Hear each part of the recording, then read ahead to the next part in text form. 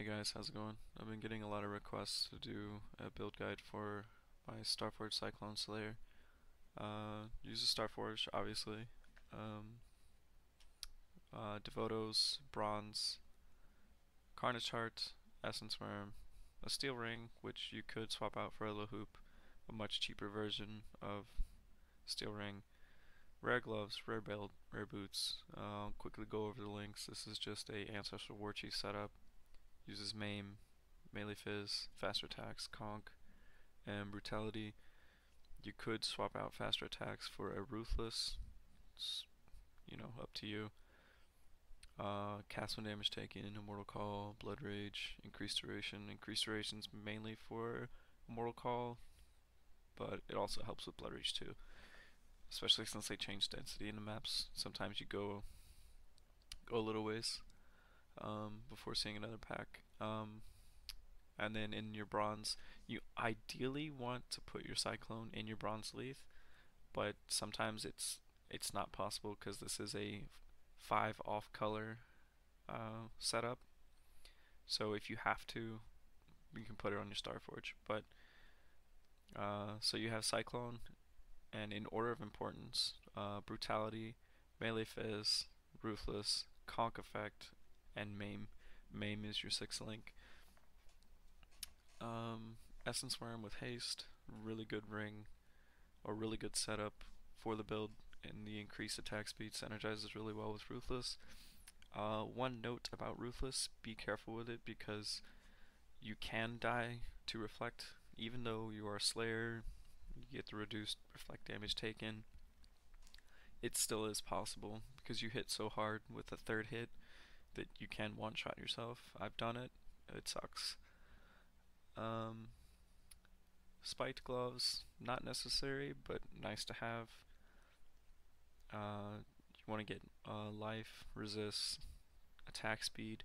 Ideally, you want a fizz damage to attacks roll, but I couldn't get that, and I'm too chicken to actually annul these and try to get a uh, fizz damage to attacks roll.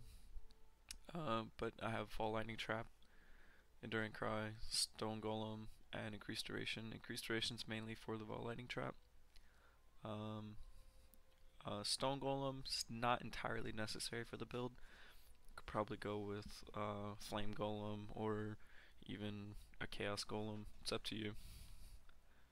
This build does have quite a bit of uh, physical damage reduction when you factor in flasks and whatnot. Um, belts, standard life, resist, strength, movement speed. You want to ideally try to find a belt that has an open prefix so you can craft the movement speed on there.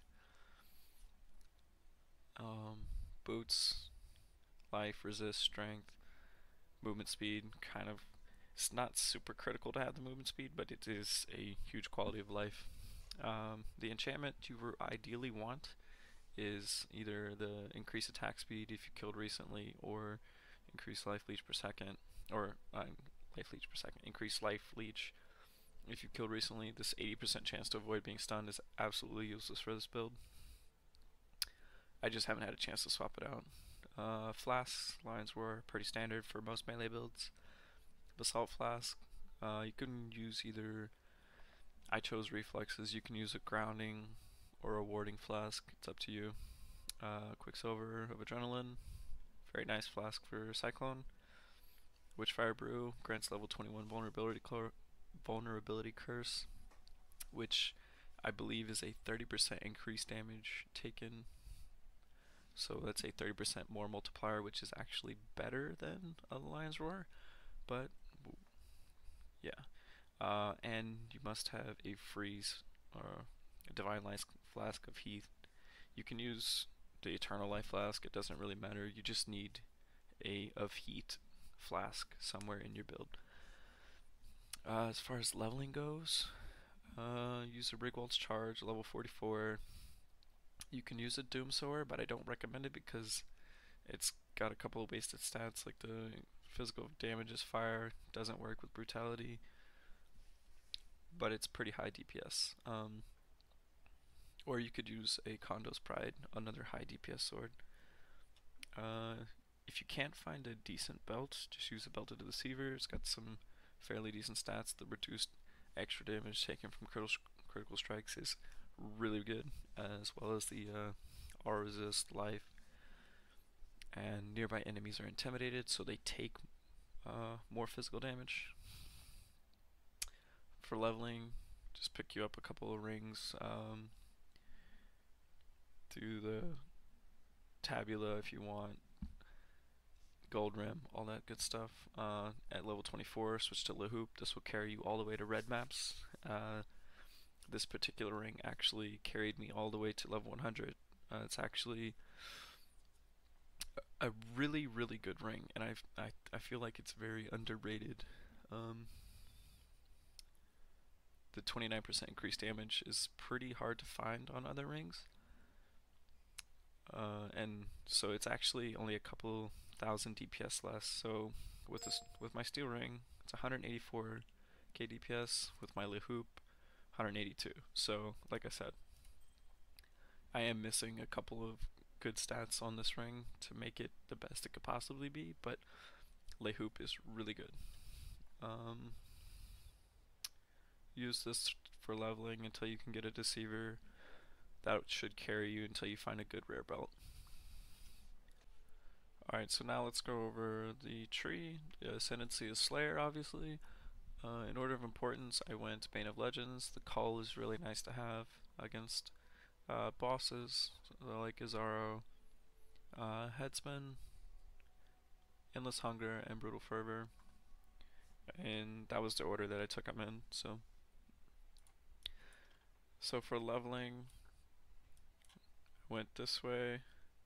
Grabbed Art of the Gladiators, really good for leveling. You can wear a chest piece without having the movement speed penalty. The attack speed is really nice. Accuracy is pretty good in the early levels. Destroyer came down, grabbed Golem's Blood, grabbed the Jewel Socket, moved over, grabbed Bloodless, Blood Magic, Resolute Technique, get here, grab the Jewel Socket. Now you have three options. You can either go here, here, or here.